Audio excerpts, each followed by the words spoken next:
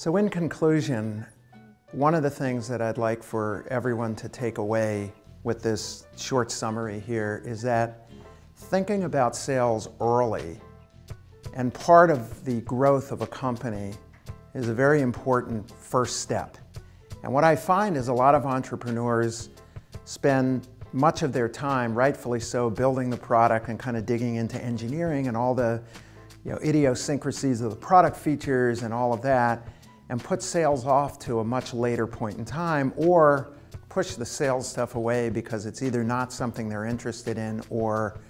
they don't feel comfortable with it. And I think starting late and letting somebody else do it is a very dangerous proposition for a CEO because sales and engineering is what builds an entire company. You don't have a company just with engineering and you don't have a company just with sales and the integration of those pieces are very important